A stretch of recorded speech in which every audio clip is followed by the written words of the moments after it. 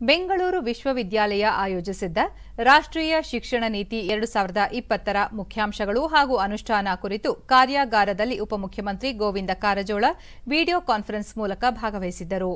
ಈ ವೇಳೆ ಅವರು, ರಾಜ್ಯದಲ್ಲಿ ರಾಷ್ಟ್ರೀಯ ಶಿಕ್ಷಣ ನೀತಿ ಅನುಷ್ಠಾನಕ್ಕೆ ಪೂರ್ವ ಸಿದ್ಧತೆ ಮಾಡಿಕೊಳ್ಳಲಾಗಿದೆ.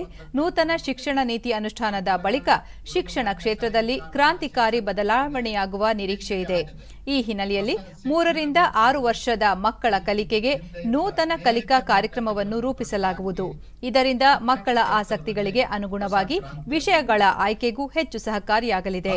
ಪ್ರಾಯೋಗಿಕ, ತಂತ್ರಜ್ಞಾನ ಮತ್ತು ಕಲೆಗೆ ಹೆಚ್ಚಿನ ಅವಕಾಶ ಕಲ್ಪಿಸಲಾಗುವುದು. ಮಕ್ಕಳ ಪ್ರತಿಭೆಯ ಪ್ರೋತ್ಸಾಹಕ್ಕೂ ಹೆಚ್ಚಿನ ಒತ್ತು ನೀಡಲಾಗುವುದು ಎಂದು ಅವರು ತಿಳಿಸಿದರು. ಪ್ಲಸ್ ನಾಲ್ಕು ಆಗಿರ್ತದೆ. ಇದರಿಂದ ಮೂರರಿಂದ ಐದರವರೆಗೆ ಪೂರ್ವ ಶಾಲೆ ಆರರಿಂದ ಎಂಟರವರೆಗೆ ಮಧ್ಯಮ ಎಂಟರಿಂದ ಹನ್ನೊಂದರವರೆಗೆ ಪ್ರೌಢಶಾಲೆ ಹಾಗೂ ಹನ್ನೆರಡರಿಂದ ಪದವಿ ಯಾವುದೇ ಪದವಿಯು ನಾಲ್ಕು ವರ್ಷಗಳ ಅವಧಿಯದ್ದಾಗಿರುತ್ತದೆ.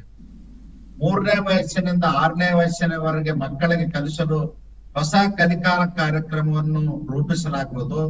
ಆರನೇ ತರಗತಿ ವೃತ್ತಿಪರ ಶಿಕ್ಷಣ ಲಭ್ಯವಾಗಲಿದೆ. ಇದರಿಂದ ಮಕ್ಕಳಲ್ಲಿ ಚಿಕ್ಕ ವಯಸ್ಸಿನಲ್ಲೇ ಸೂಕ್ತ ಚೇತನದಲ್ಲಿರುವ ಪ್ರತಿಭೆಯನ್ನು ಗುರುತಿಸಿ ಪೋಷಿಸಲು ಅನುಕೂಲವಾಗುತ್ತದೆ ಅವರ ಆಸಕ್ತಿಗೆ ಅನುಗುಣವಾಗಿ ವಿಷಯಗಳನ್ನು ಆಯ್ಕೆ ಮಾಡಿಕೊಳ್ಳಬಹುದಾಗಿದೆ. ಎಲ್ಲಾ ಉನ್ನತ ಶಿಕ್ಷಣವನ್ನು ಕೇವಲ ಒಂದು ಪ್ರಾಧಿಕಾರದಿಂದ ನಿಯಂತ್ರಿಸಲಾಗುತ್ತದೆ. ದೇಶದ ಎಲ್ಲಾ ಶಿಕ್ಷಕರಿಗೆ ಹೊಸ ಶಿಕ್ಷಕ ತರಬೇತಿ ಮಂಡಳಿಯನ್ನು ಸ್ಥಾಪಿಸಲಾಗುವುದು. ವಿದ್ಯಾರ್ಥಿಗಳ ಪ್ರಾಯೋಗಿಕ ಮತ್ತು ತಂತ್ರಜ್ಞಾನದ ಮೇಲೆ ಹೆಚ್ಚಿನ ಗಮನ ಹರಿಸಲಾಗುವುದು. ಕಲೆ ಮತ್ತು ಮಾನವೀಯತೆಯ ಜೊತೆಗೆ ಹೆಚ್ಚಿನ ವಿಜ್ಞಾನವನ್ನು ಕಲಿಯುವ ಗುರಿಯನ್ನು ಹೊಂದಲಿದ್ದಾರೆ. ವಿದ್ಯಾರ್ಥಿಗಳಿಗೆ ವಿದ್ಯಾಭ್ಯಾಸಕ್ಕಾಗಿ ಸೌಲಭ್ಯಗಳನ್ನು ನೀಡಲು ಅವಕಾಶ ಕಲ್ಪಿಸಲಾಗಿದೆ.